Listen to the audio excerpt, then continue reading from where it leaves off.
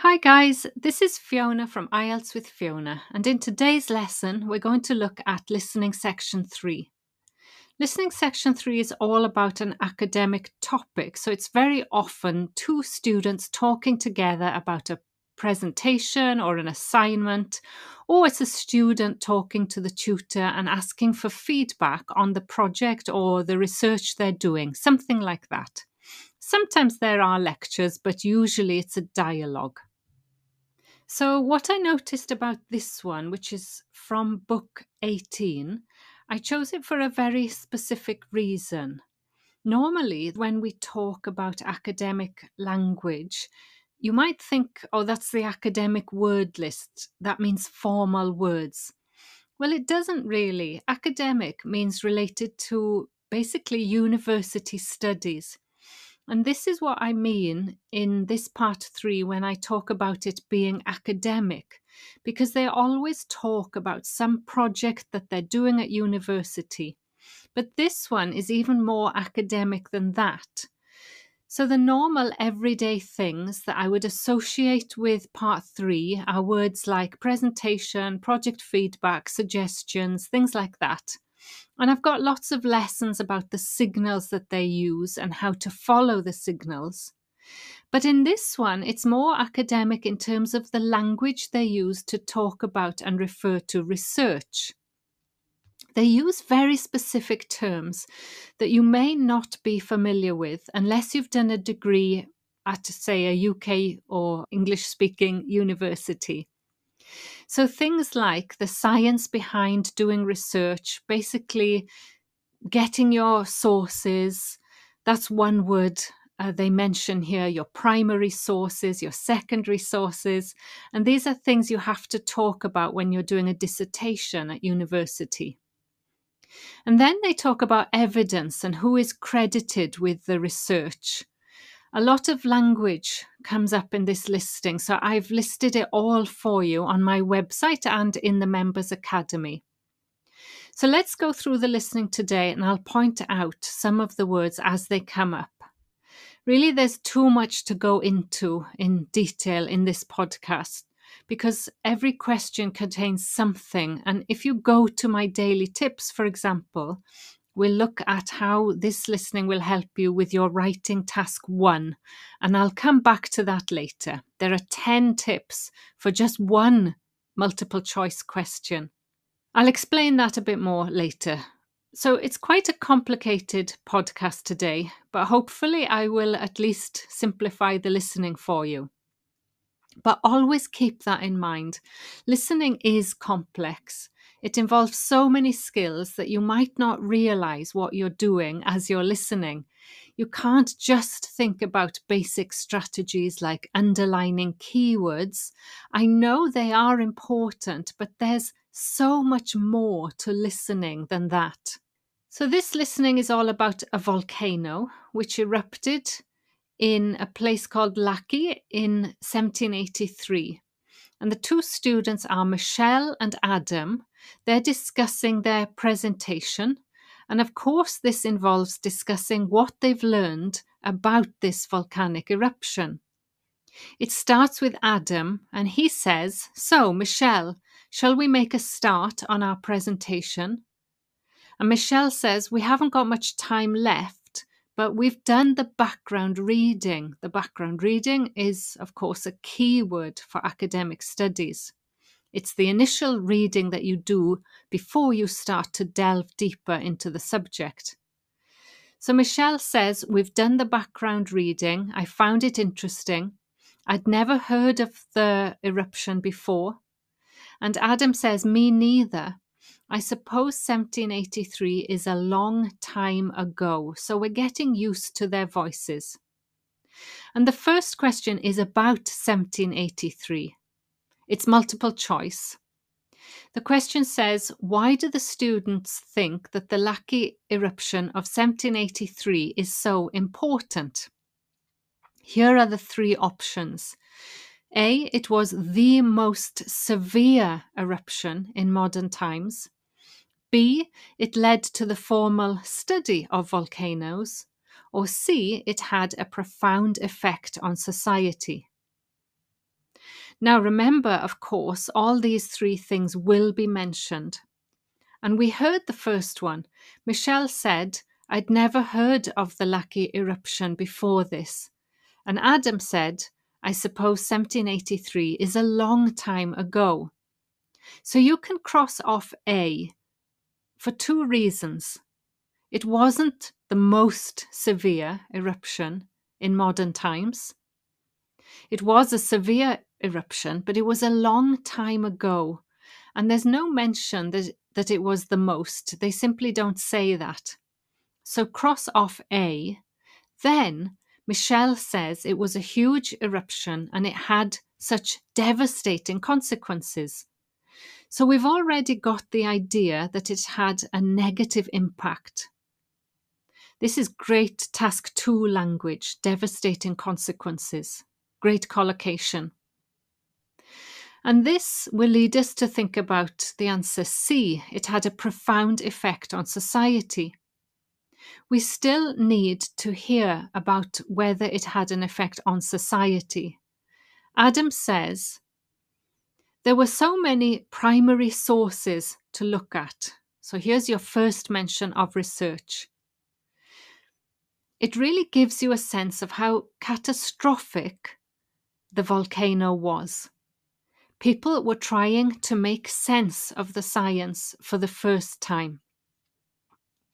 Now, when you hear the word science, you might think science like biology, chemistry, or physics. But it's the science which means really the research that they had already done. And so we can cross off that it led to the formal study of volcanoes. The formal study is the science of volcanoes. That's what it means. It did not lead to this. They were trying to make sense of the science, which already existed. So, see, it had a profound effect. We're still waiting to hear was this an effect on society? Let's listen it says, What I found more significant, and here is the synonym for the question, what was important, and also here's the emphasis and the signal. So there's lots of things going on. He says, What I found more significant was how it impacted directly and indirectly on political events, as well as having massive social and economic consequences. There it is. There's the answer social and economic consequences. Massive is a synonym for profound effect. So the answer is C. And again, look at the language there. It impacted on. That's a nice expression, using impact as a verb. So for question 21, the question was, what did they find so important?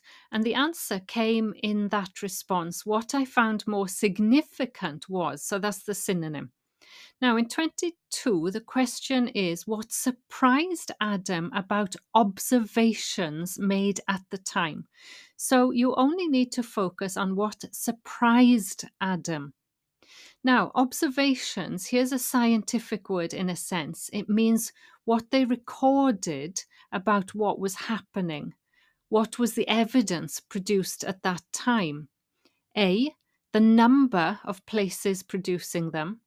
So the reference word, them, is important, refers back to observations. B, the contradictions in them meaning, again, the observations, or C, the lack of scientific data to support them, the observations. So, what do we need to know? We, what surprised him? The number, so the quantity, or B, the contradictions, meaning that some people said different things, or C, the lack of data to support the observations. That's another research term. You always have to have data to support your arguments in task two, for example. So let's have a look at what surprised Adam.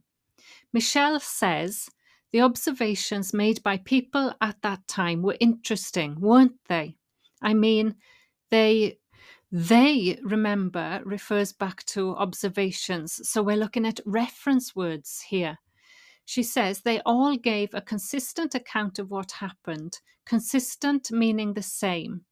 So it's not B, there are no contradictions. Cross out B, even if they didn't use the same terminology. So I can see the trick here. They didn't always use the same terminology, but the accounts were consistent, they were the same. Terminology is another academic word there, meaning the, using the right words to describe what happened. But we're still listening for what Adam thought, and he says, I was surprised there were so many. And that's your answer. I was surprised there were so many weather stations established by that time. So the weather stations were producing the observations, and that gave us answer A, the number of places, the weather stations producing the observations. And really, then, there's nothing for C, the lack of scientific data. They just don't mention that. So, according to Michelle this time, this is question 23, what did the contemporary sources say about the Laki haze? So, remember we had primary sources. This time we've got contemporary sources, meaning at the time. And what did they say about the Laki haze? Now, don't worry if you don't know the word haze, meaning that kind of, you know, smoky kind of fog all you've got to do is hear the word Laki haze and note what they said. So, A, people thought it was similar to fog. B, it was associated with health issues. Or C, it completely blocked out the sun for weeks. So, what does Michelle say? She says writers at the time, contemporary at the time, talked about the Laki haze to describe the volcanic fog that spread across Europe. They all realized this wasn't the sort of fog they were used to. So you can cross off A. They didn't think it was similar to the ordinary fog. She says, of course, this was in pre industrial times, so they hadn't experienced sulfur smelling fog before. So cross off A. Now Michelle continues. She says, reports from the period blamed the haze for an increase in headaches, respiratory issues, and asthma attacks. What are they? Those are health issues. So the answer is B. They blamed the haze for an increase. It was associated with health issues, an increase in headaches, respiratory, meaning breathing. That's a formal academic word, and asthma attacks. Now, here's the trick or the distractor. They all describe how it covered the sun. Okay, so it covered the sun and made it look a strange red colour. Option C said it completely blocked out the sun. Well, it didn't completely block out the sun, it covered it and made the sun red. And for weeks is not mentioned. So it's not C. And the answer is very clearly B, the health issues, because they gave you three examples of health issues. Now, the next one mentions Benjamin Franklin. So, question 24. And we're looking for something that Adam correct something that Michelle says about Benjamin Franklin. Basically, she claims, she says that Benjamin Franklin, and here are the choices A, came to the wrong conclusion about the cause of the haze, B, was the first to identify the reason for the haze, or C, supported the opinions of other observers about the haze. Now, maybe Benjamin Franklin did all of these, but only one of them is the thing that Adam corrects her when she says something which he says is wrong. So, what does she say? She says it's interesting that Benjamin Franklin wrote about the haze. He was the American ambassador in Paris at the time. Adam says at first no one realized the haze was caused by the volcanic eruption in Iceland. So that looks like A, but remember that's not what he corrects her about. She says it was Benjamin Franklin who realized that before anyone else. Notice the emphasis. It was Benjamin Franklin who realized that. What does that refer to? That the haze was caused by the eruption in Iceland. That's what she thinks, that he realized before anybody else. Now, Adam corrects her. He says, actually, he's often credited with that, apparently, meaning that people often say it was him. But actually, here's the answer a French naturalist beat him to it. So, this French naturalist realized before Franklin. It's a tricky one, and maybe the but can help us there. Anyway, that's what he corrects Michelle about, and the answer is therefore B, and then C is a distractor.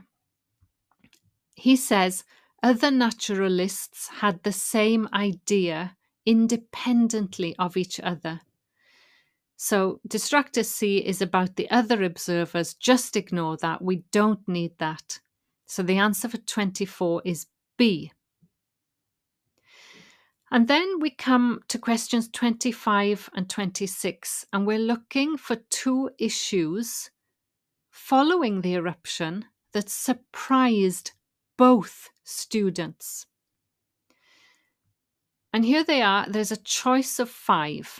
A, how widespread the effects were, so how far they spread.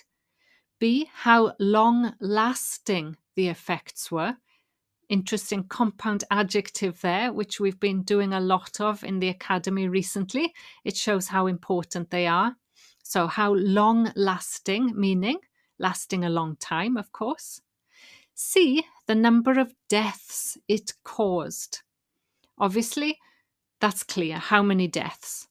D, the speed which the cloud, the ash cloud, spread. How fast? And E, how people ignored the warning signs. So we're looking for how far, how long, how many, how fast, and the last one, how people ignored the signs. But remember, we might hear all of those, but we're just looking for what surprised them. Now, here's some academic language that's really important. Michelle introduces this. She says, All right, we should talk about the immediate impact of the eruption. So there's our signal. It introduces us to the issues following the eruption. She says, which was obviously enormous, especially in Iceland, where so many people died. So there's C, the number of deaths it caused. But Adam says, well, yeah, you'd expect that. Again, this is scientific research. What would you expect?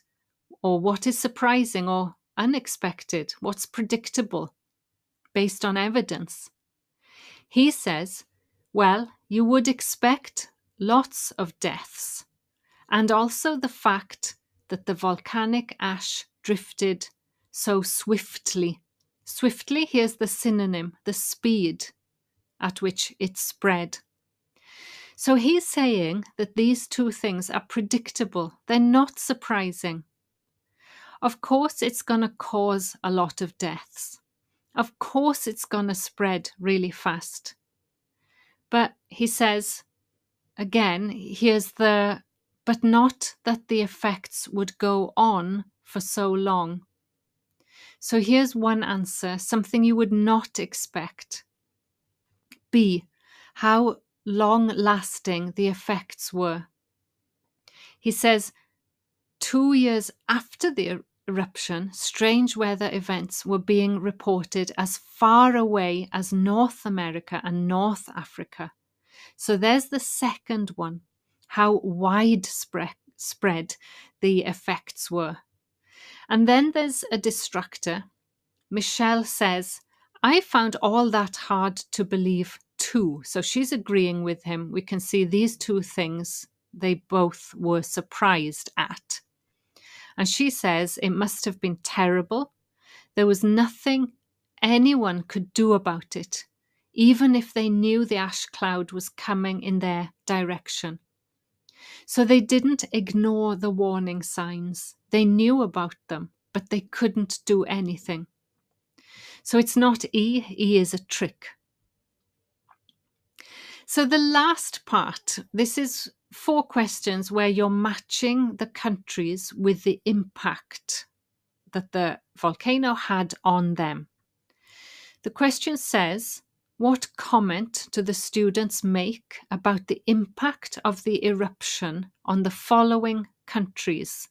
So, Iceland, Egypt, the UK, and the USA. And the six things are the country suffered the most severe loss of life. So, basically, which country had the most deaths? B, the impact on agriculture was predictable. C, there was a significant increase in the deaths of young people. D, animals suffered from sickness. E, the country saw the highest rise in food prices in the world. And F, it caused a particularly harsh winter. Now, I don't think you can guess any of those, and you haven't got time. The thing that helps you here is that they go in the same order that you hear them. So, first of all, you'll hear Iceland. And you've just got to get what was the impact in Iceland. Michelle starts, she says, we should run through some of the terrible consequences. Adam says, starting with Iceland, where the impact on farming was devastating. So he introduces farming, and your eye goes to B, the impact on agriculture was predictable. But that's not exactly what he says. He says the impact on farming was devastating. Michelle says one of the most dramatic things there in Iceland was the effect on livestock. So, this is animals, livestock, a key word. It's in my first unit in the vocabulary course. Livestock, animals, farming, very important. The effect, she says, on livestock as they grazed in the fields, they were poisoned because they ate vegetation that had been contaminated with fluorine as a result of the volcanic fallout. So animals were poisoned. And the answer is D. Animals suffered from a sickness, and that sickness is poison, poisoning. Next is Egypt.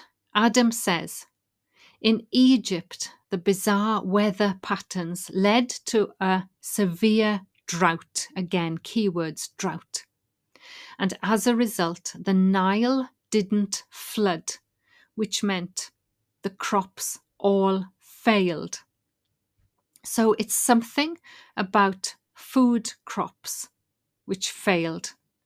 Michelle says it's far from where the eruption happened, and yet the famine there led to more people dying than any other country. So we've got a kind of superlative here, more than any other country. And this gives us A. This country suffered the most severe loss of life, not from the volcano, but from the aftermath, what happened afterwards, and the effect it had on the crops, which failed. Again, keywords famine, failed. Now, question 29 is the UK. This is an interesting one. This is the one I talk about in the 10 tips. So it says in the UK, the mortality rate went up a lot. It was double the usual number and included an unusually high percentage of people under the age of 25. Now, if you've done my Writing Task 1 course, you'll know I teach this as a really important language item.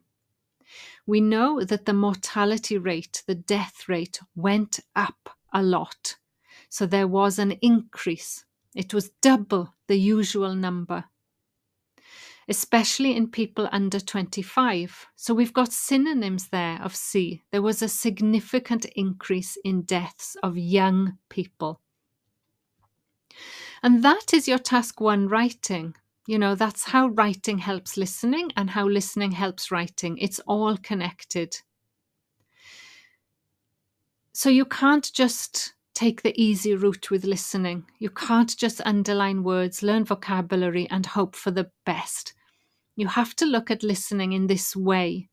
If you're listening to this podcast, you're doing the right thing.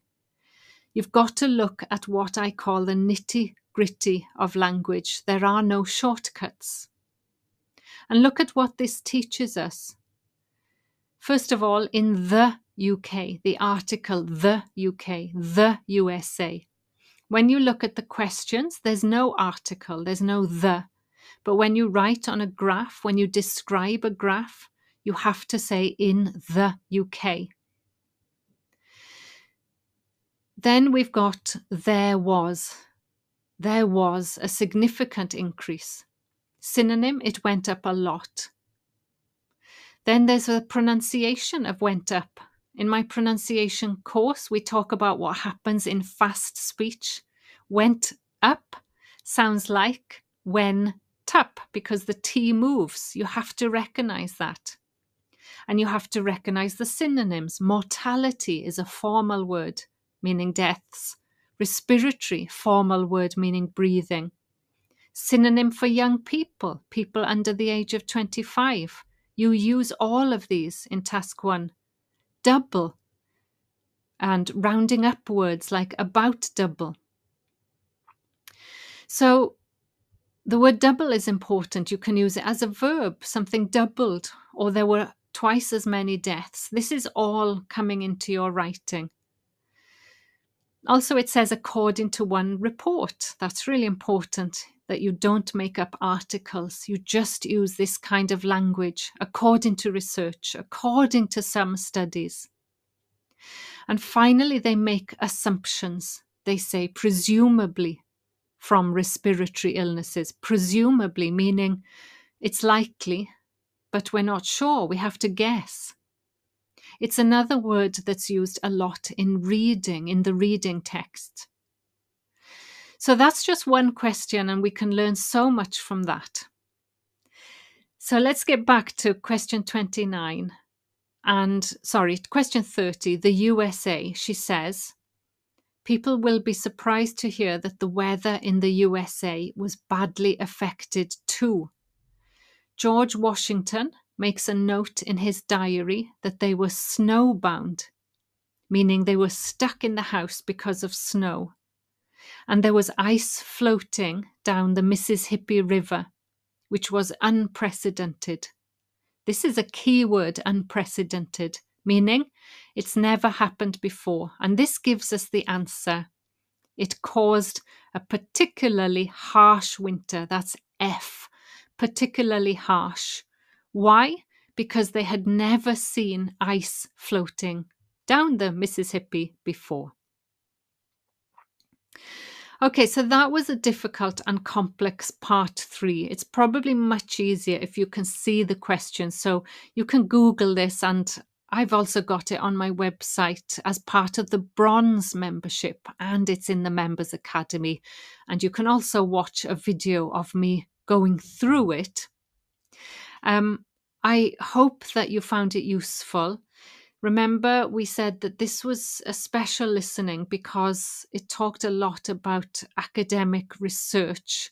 And we talked about words like background reading, conclusions, evidence, experiments, primary sources, observations, all the kind of things that you, you need to know about when you do a degree at university.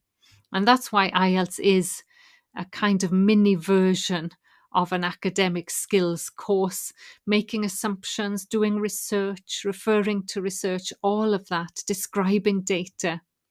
And that's all in the members course. It's now in the listening course. It will be in the vocabulary course. So um, do let me know if you've got any trouble finding that or if you have any questions. Thank you for listening. Let me know if you've got any requests. Bye for now. Bye bye.